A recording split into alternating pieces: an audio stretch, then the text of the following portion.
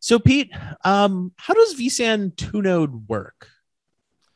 Yeah, John. So I think to really understand a two node environment, you just have to take a step back and look at what and how vSAN uh, basically works, like let's say in a three node cluster. In a three node cluster, we would have uh, two of the hosts that would be responsible for having some of the data. And then the third host would be having the witness component.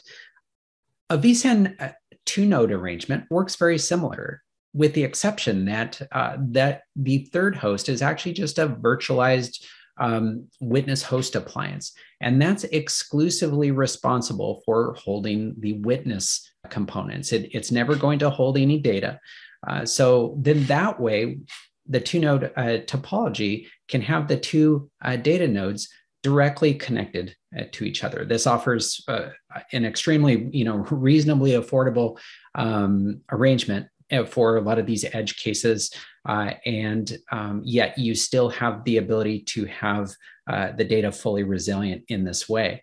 And in, in a lot of ways, it shares similarities with our uh, stretch cluster topology, except for the fault domains, instead of being on a, a per site basis, they're just on a, a, per host basis. So the the fault domains are on a on a per host basis, kind of taking that analogy back with stretch clustering, we have RAID between sites and then we have RAID within a site. Uh, does that mean that now I can do RAID within a host?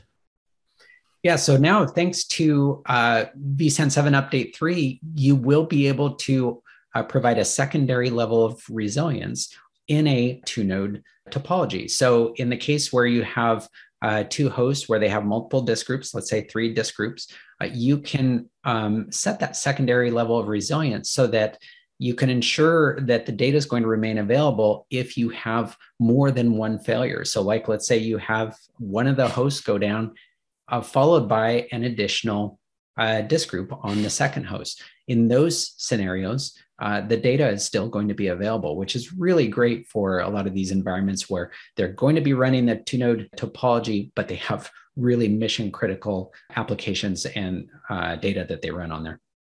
That's really awesome. I got four copies of data. So I've got, you know, a small package, two node directly connected. So I don't have to go buy expensive switching.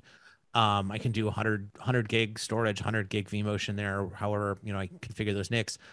But I also get a resiliency level that previously would have required a lot, you know, at least five hosts or in a traditional, you know, array environment, like some giant mesh or a, a metro. This is this is a lot of resiliency. It really is. And many, you know, that are responsible for uh, the design and the topology layout of their environments should really revisit uh, how they're doing some of these edge scenarios and uh, take advantage of this opportunity to uh, create a really robust environment where that data is fully resilient and uh, can fully accommodate a number of uh, failure scenarios. Yeah, before people would have said, well, you know, if you are limited on budget, you can go two node, but you really might want to try to go three or four. It looks like it, it, you might just want to go kind of this ultra dense two node, you know, as a as a much more resilient even starting point. So it's good to see.